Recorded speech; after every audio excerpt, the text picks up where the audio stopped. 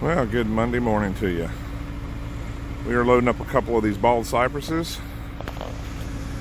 And I got a few more container trees to get, and then I'm off to Mobile. I got to go to Mobile, come back through Foley, Alabama, and then stop in Pensacola and pick something up. So that's what's going on.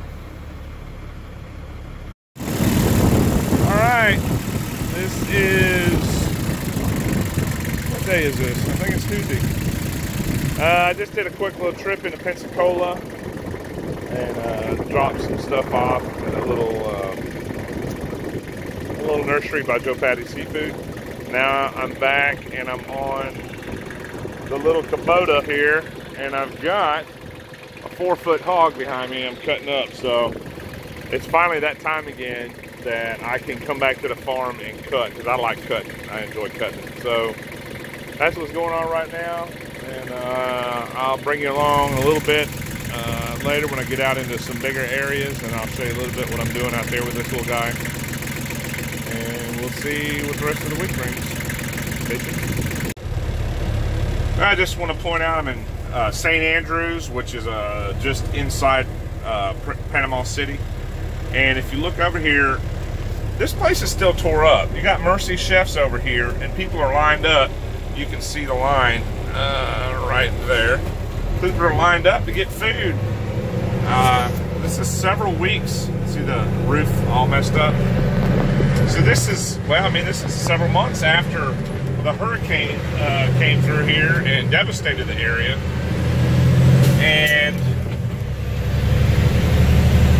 these people, there, there's a lot of people that still don't have housing. See, that was a grocery outlet right over here. It's missing caved in. Um, now, I could be wrong on this, but I heard that the government funding has run out over here in Panama City. And these people are just, I mean, they're still living in tarps. A lot of people, I mean, literally living in tarps. I don't mean tarps on their house. Yeah, there's plenty of tarps on buildings, but I mean, they are living in tents and whatever else.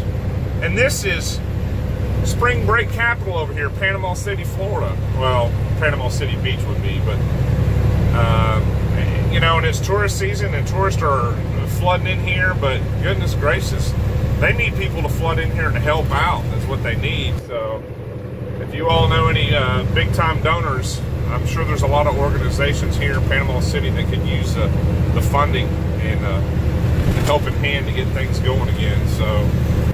Uh, I'm just coming down here to drop some trees off, and uh, I saw the people out there, and so I thought that I would uh, film a little bit and uh,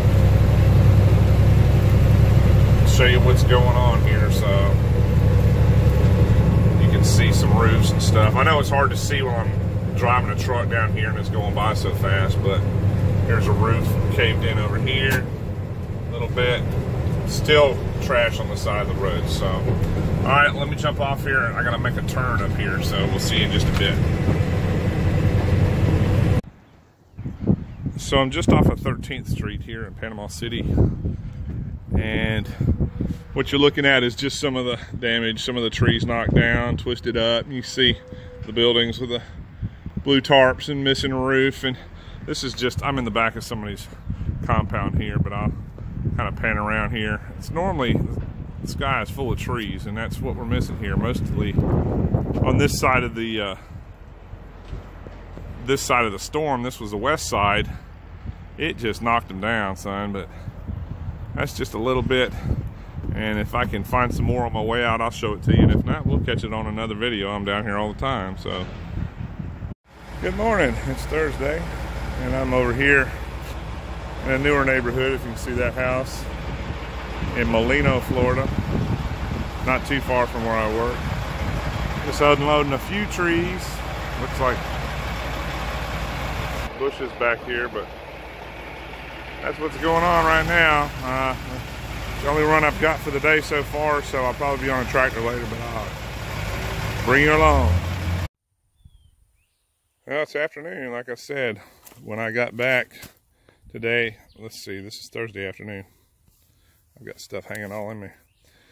Uh, I got back today and I jumped on this little uh, Kubota tractor with a four foot bush hog.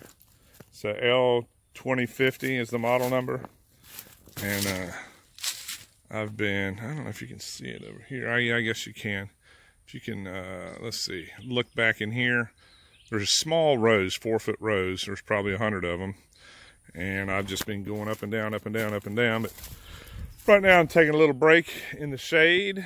Uh, I've got about two more hours left and I'll be heading to the house. So see what else we can get into. Well, welcome to Friday morning.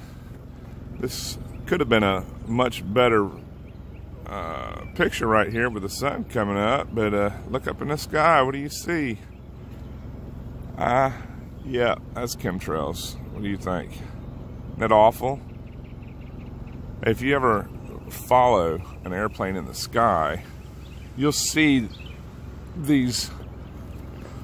Well, you won't see these. You'll see the exhaust coming off the engines or, or water vapor at the high speeds, but it only lasts for so far behind the airplane.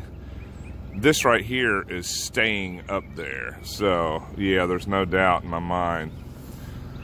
Yeah, what this is and that's something. Hopefully the day will get better and we won't die of some type of a poisoning. So hang around, we'll see what's going on Friday. All right, Saturday's lunch. Brought to you by El Paso.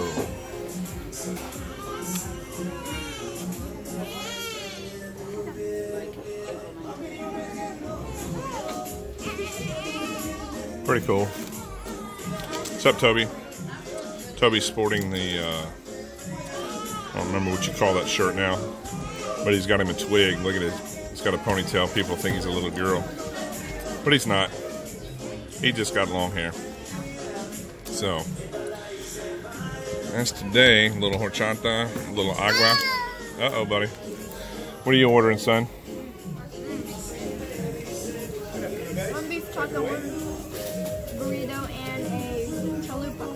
Cool.